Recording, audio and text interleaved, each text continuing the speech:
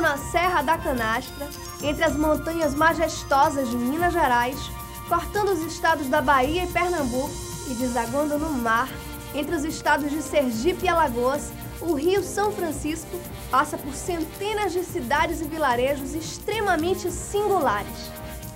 Uma realidade que o Brasil inteiro precisa conhecer, precisa ver, pela sua potencialidade de desenvolvimento econômico e por sua riqueza cultural.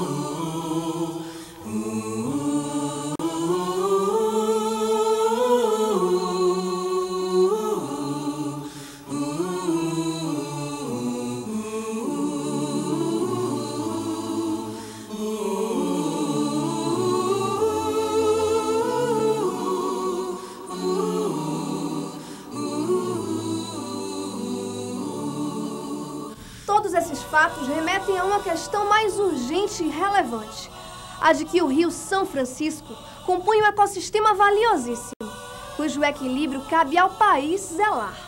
O Brasil sairá mais brasileiro quando a sua população mergulhar nas águas do Velho Chico. O turismo cultural e ecológico vão ganhar grande impulso nesse imenso vale. E a cultura brasileira ganhará enorme reforço quando o país puder conhecer os seus valores.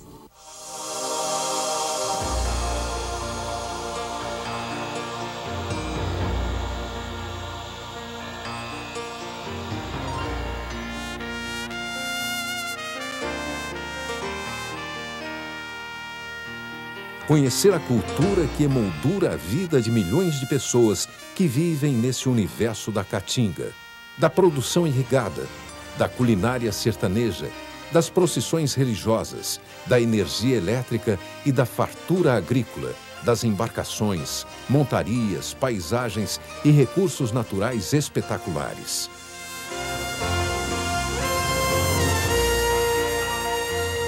Neste momento em que o velho Chico está às portas de completar 500 anos de descoberto, fica mais evidente ainda a importância do projeto Rio São Francisco.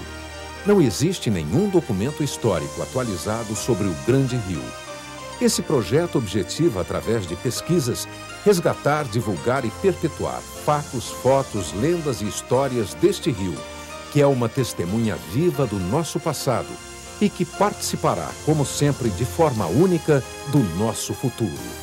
O projeto consiste na criação e produção de 10 filmes com duração de um minuto em formato didático atual, que têm como temas a descoberta do Grande Rio, o povo das comunidades ribeirinhas, a colonização, a navegação, as embarcações, ecologia, fauna e flora, barragens e energia, irrigação e o futuro do Rio São Francisco. Esses VTs serão exibidos nos estados banhados pelo Rio São Francisco durante todas as quintas-feiras dos meses de outubro e novembro de 2001, no horário da novela das oito, na Rede Globo de televisão. Também será produzido um documentário de 30 minutos de duração, narrado em três idiomas, onde será contada toda a história do rio, desde sua descoberta, numa viagem emocionante.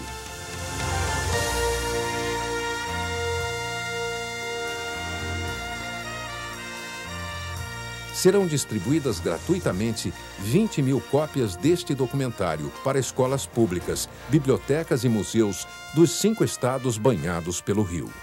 Será confeccionado ainda um livro com 160 fotografias, especialmente produzidas para registrar todas as nuances dos 500 anos do Rio São Francisco.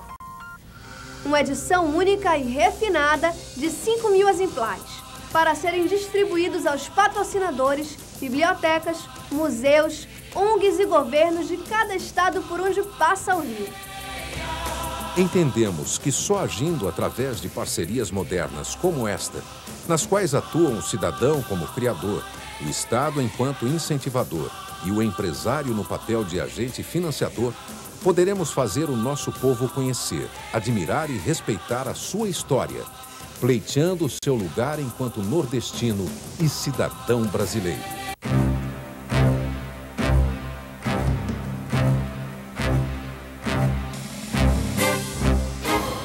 Conter o assoreamento, promover a indústria limpa, maximizar o desenvolvimento regional com preservação ambiental e implementar o crescimento da região são alguns passos a serem dados pelos que desejam mais cinco séculos de vida de qualidade para esse curso de água.